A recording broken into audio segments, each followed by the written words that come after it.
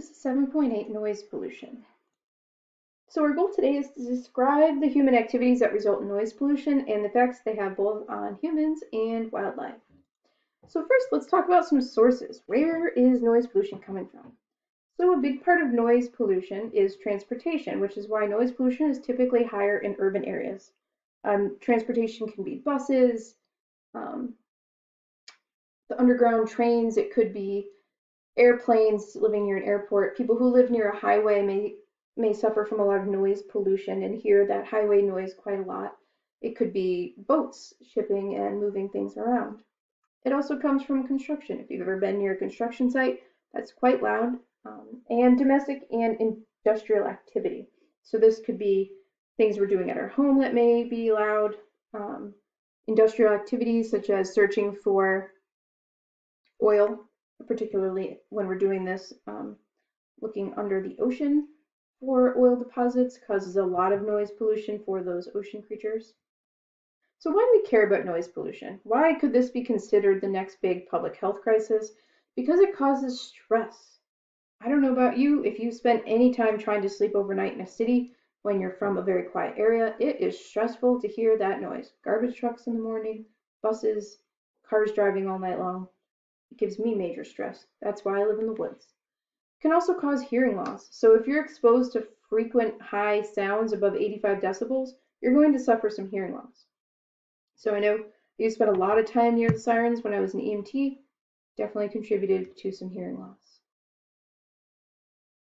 Wildlife suffers a lot of the same things. It can stress them out to have constant um, noise pollution. It can make it so they can't communicate or hunt because the sounds of the noise pollution are louder than the sounds that they use for communication or hunting. They have very sensitive hearing, particularly aquatic animals. This can damage their hearing, and it also can cause them to change where they migrate, particularly birds and whales. We have shipping lanes of heavily trafficked parts of the ocean that interfere with migratory routes, and whales are going to avoid that in an effort to stay away from the noise pollution, but that changes their natural migration. So some of the ways that it can mask their sounds, we know that ocean animals use echolocation, or clicks and whistles to communicate with each other and to hunt. And with the amount of noise pollution, so you see some of these are 200 to 250 decibels. Above 180 decibels, this is very loud. For us, it would be detrimental to our hearing. And for them with even more sensitive hearing, it can cause substantial problems. They estimate in the Puget Sound, some whales can lose up to 90% of their ability to forage when the oceans are heavily trafficked.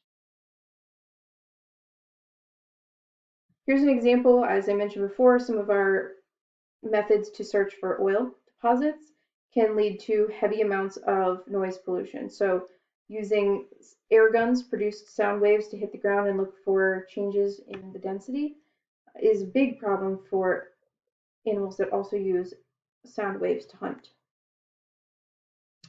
I wanted to slide in light pollution while we were talking about sort of more unconventional types of pollution.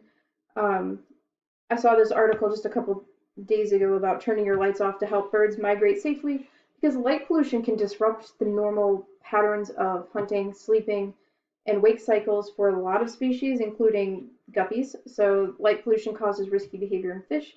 The study found that um, guppies were exhibiting strange characteristics and strange behaviors at inappropriate times because of so much light pollution. So our desire to have everything lit up is a big problem for for a lot of the environment.